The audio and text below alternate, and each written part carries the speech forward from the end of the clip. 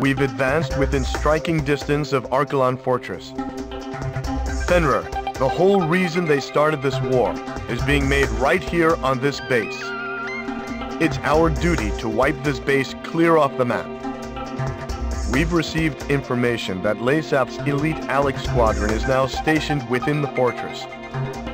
Fenrir's superior combat capabilities and optical camouflage, combined with the skills of Leasath's elite ace pilot, make this threat too dangerous to approach head-on. Disabling the optical camouflage is our only chance for success. A Leasath scientist we apprehended at the facility on Cobalt Cave has informed us that, due to Fenrir's compact size, it must rely on microwaves emitted from the nearby base's electrical transmitter to power its optical camouflage. The same forces that fought alongside us at Cobalt Cave will make sure the gate to the electrical transmitter is opened. If you succeed in destroying the facility, you should be able to handle Fenrir just like any other fighter. We don't have much time to pull this off, so make sure you're there when the gate is opened. Sir, we've succeeded in freeing Aurelia. The war should have already been over for us. But someone has to put an end to this. Just make sure you come back alive.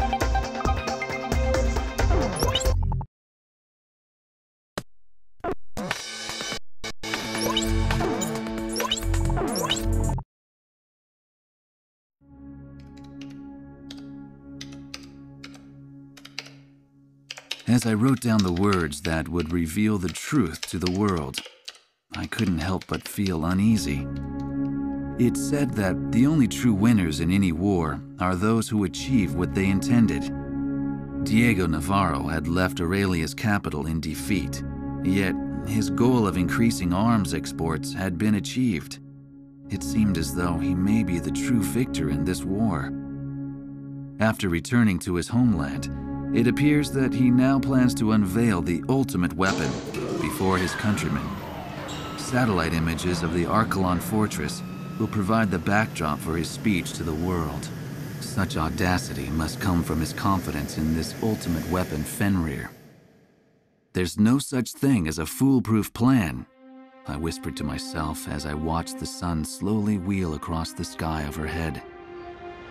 Even the country's hero, still in the heat of battle, hadn't returned home for the celebration of victory. The Southern Cross will ensure Navarro's plan ends in failure.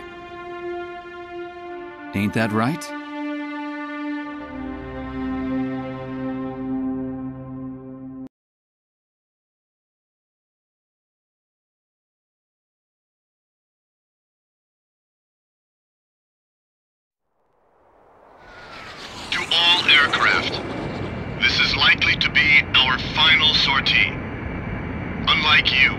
Fighting on the front lines, I stay behind and watch the battle through my monitor. I'm in no position to ask anything from you, but please allow me this one request.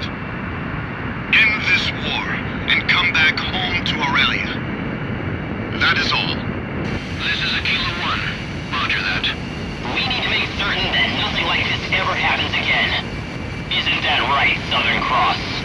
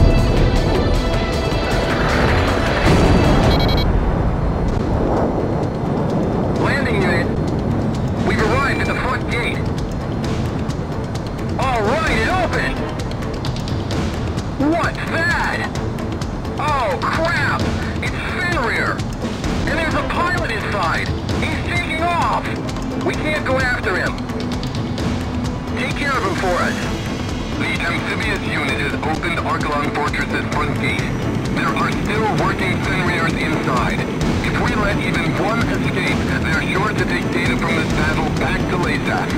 If that happens, then this war will truly never end. Enter the fortress, chase down and destroy Fenrir. This is the landing unit.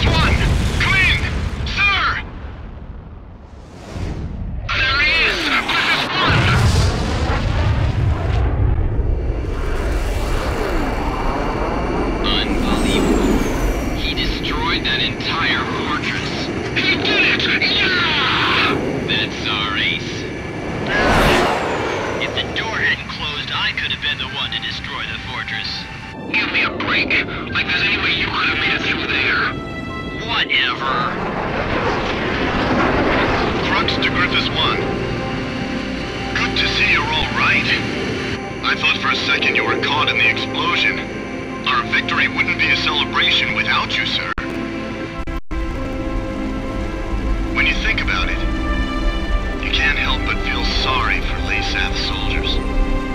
They were nothing but pawns in Navarro's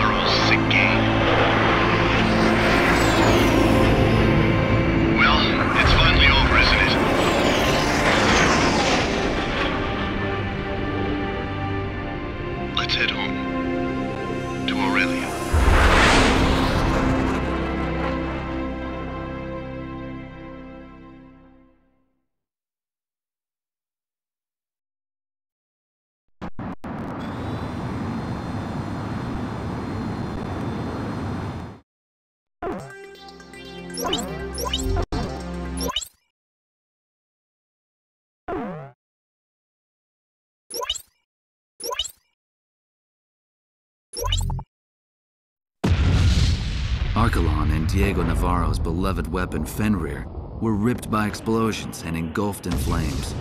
While these images flashed on the screen, the eyes of the press watched as the enraged citizens of Leasath stormed in on commanding officer Diego Navarro. When the rage of the thousands had finally subsided, it is said that there was nothing left but the shattered remains of Fenrir. It's ironic that the stage for the unveiling of his greatest triumph would be his ultimate undoing. When it was all over, I tried to get an interview with the Southern Cross, only to find that he had already returned to Cape Aubrey. He said he's never really liked hot weather.